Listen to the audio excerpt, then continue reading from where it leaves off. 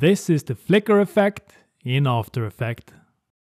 Once inside your composition, go into the shape layer tools, then go down to the star tool, press and drag to create a star. By dragging out and in, you can scale it up or down.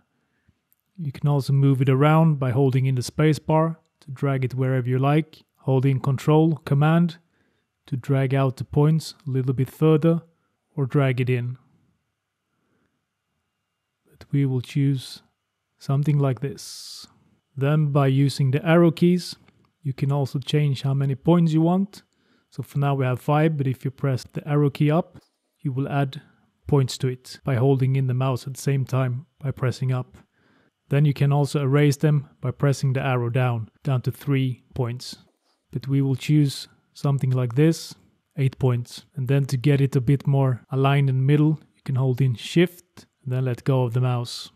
You want the anchor point in the middle, so hit Control Alt Home to get it centered. Then we want to align it in the middle, vertically and horizontally. We have our first shape layer. This we can name star middle.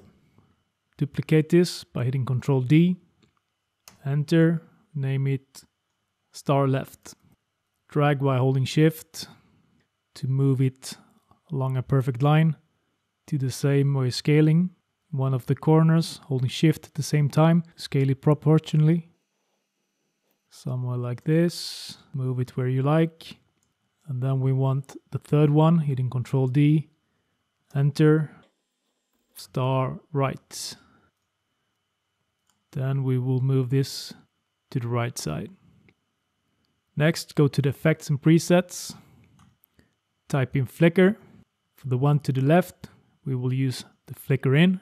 The middle one, use the flicker loop. And for the very right one, we use the flicker out.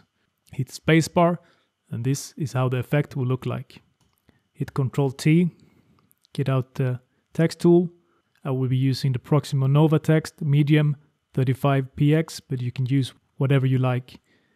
Right in, hit V, again Control Alt Home to get the anchor point in the middle, align it horizontally, and by holding Shift and drag at the same time, put it somewhere in the middle. Duplicate this layer, double click it, name this out. Hit V, then drag it over to the very right star tool. And the last duplicate, name this loop. And there we can use the align tool directly, horizontally and vertically.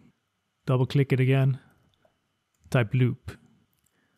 Once here, go into the effects presets one more time, and the flicker in to the in text, the flicker loop to the loop text, the flicker out to the out text. Hit spacebar again, and this is how it looked like.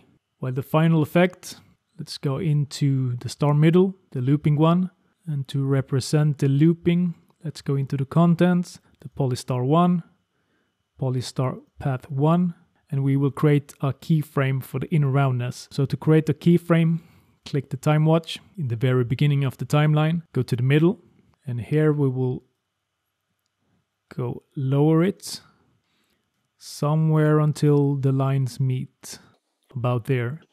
Go to the end of the timeline, mark the first keyframe, hit Ctrl C, and then Ctrl V to paste it in the very end. Then mark all the keyframes by either dragging over them, or sometimes it's easier to hit Ctrl Alt A, which also mark all the visible keyframes. And then we will ease them by hitting F9. Hit spacebar, and this is your final animation.